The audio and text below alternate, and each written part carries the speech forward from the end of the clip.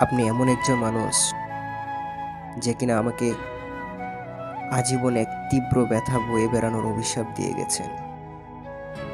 তাতে কি আমি আপনাকে অভিশাপ দিলাম?